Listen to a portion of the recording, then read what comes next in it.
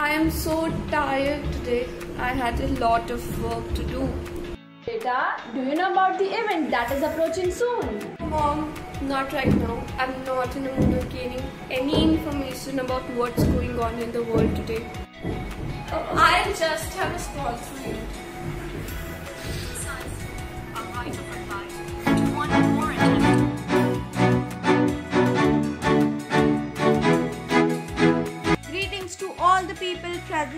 Of China, Afghanistan, and India. We all are gathered here to celebrate the event a World Food Day, which is celebrated on 16th October every year.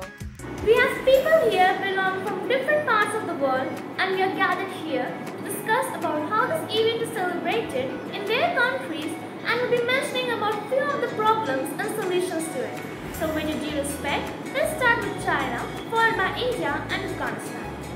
On this day, more than 150 countries unite to raise awareness of the issues surrounding poverty and hunger. Ni hao. My country, China, has made remarkable progress in boosting national economic development and agricultural production.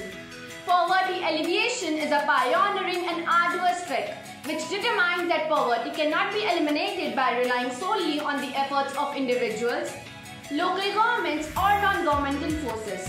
Poverty elimination requires will and action at national level and must be elevated to a national strategy. Namaste. My country, India, is one of the world's largest food producers. Rapid growth of population is one of the main reasons that the food is not available to the needy. Food insufficiency among older adults aged 45 and above are often linked with a higher risk of chronic diseases as well as disabilities. These negative health outcomes have a direct impact on food excess, resulting in food poverty. Salam. I'm from Afghanistan, and about one third of the population of the country is facing food insecurity. Also, more money would be needed to feed the population. If the situation continues like this and there's no government control to the prices, that will cause so many problems to the local people. However, the main reasons are drought, floods, conflicts, and COVID 19 makes the situation even worse. Because of the virus, the price of food is also rising due to heavy demands and little supply. As this assembly can see, food prices even in developing countries are getting worse. So our fragile planet needs more and it needs it now. So more action, more finance, more cooperation and more commitment is needed to tackle world food hunger and to rebuild societies.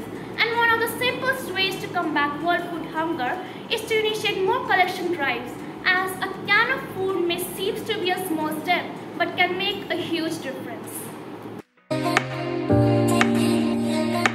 Seeing this UN meet today, I feel so much blessed to study in PCS. My school does so much to fulfill these SDGs. Our school organizes outreach programs to help the people who are underprivileged. Our school hosts charity boxes in every class to contribute its part towards zero hunger. It is truly a blessing to be a part of such a great charity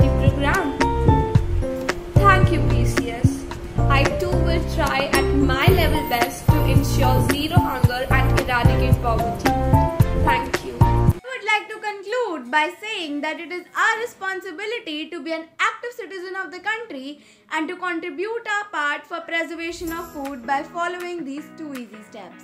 Number one is grow your network.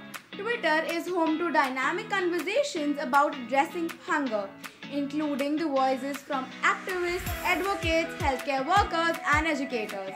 Explore the hashtags below for resources, inspiration, and possible collaborators. Hashtag Zero Hunger, hashtag SDG2, and hashtag SDGs. Second one is teach students to homegrown food. Even people with enough food to eat can still suffer from the impact of hunger.